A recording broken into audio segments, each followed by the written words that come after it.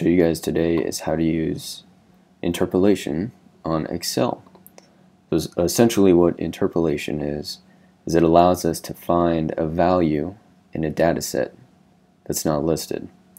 So for our data set we have this chart and it's a relation to the temperature outside to the people at the beach. So our chart is only in multiples of 10 um, for our x variable, which is our independent variable.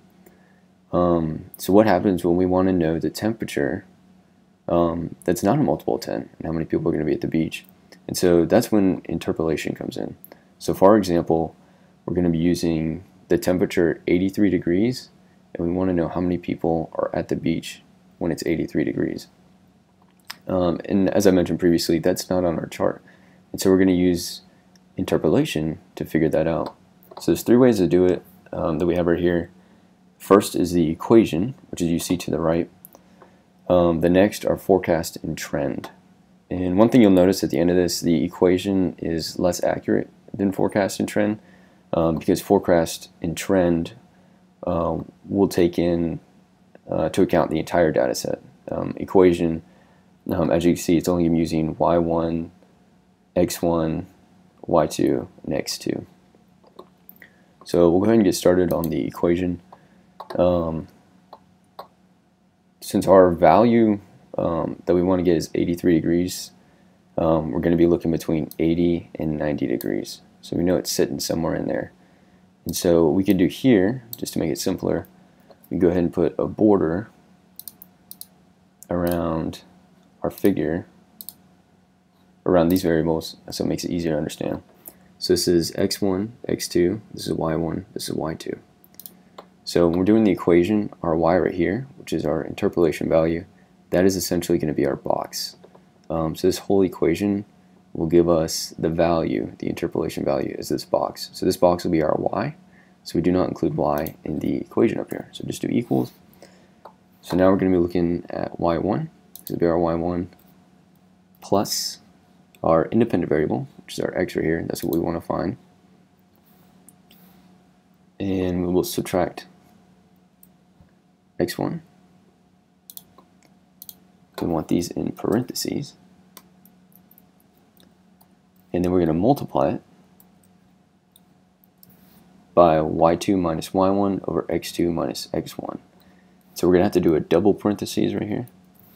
So that way the program knows to do y2 minus y1 first. So we go y2 minus y1 parentheses. We'll do a backslash for divide. We're doing divide right here. Divided by parentheses x2 minus x1. We'll do a parentheses and then another one right there to finish off the expression and we'll hit enter and right there and so basically what this equation has told us is that at 83 degrees Fahrenheit we can expect to see about 96.2 people now a much simpler and a quicker way to do it is forecast and trend and so we'll do the same thing we'll come over here hit equals you always do an equals before you start a function so type in forecast. You can click right down here. And so it walks you through it. So it wants our x value, which again, our x is our independent variable. We'll come down here, 83 degrees, comma, our known y's. So we come over here to our y's. And this is what I was mentioning before. Forecast and trend will use the entire data set, uh, which will create a more accurate trend line. Our equation right here was only using these values. So we have our, our known y's, do another comma, and our known x's. We'll put a parenthesis to finish that off and hit enter. And as you can see, it was able to grab a much more accurate number. Um, both very similar in this. And so because of their similarity, um, this shows that this is a, a, very linear trend that it's following. And so we'll do the same with trend line. So do equals, you type in trend, this one's a little bit different. First, your known y's, comma, then our known x's, comma, and then our new x, which is our independent variable. That is down here, 83.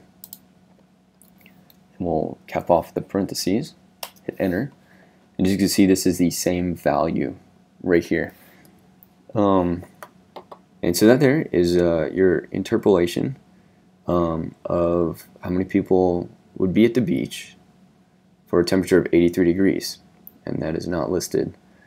Um, so again, interpolation is just a way for us um, to, to find a dependent variable based on an independent variable. And this is essentially the program Excel creates a trend line and it follows that trend line and, and finds your values along the trend line. So I hope that helps. Um, have a nice day.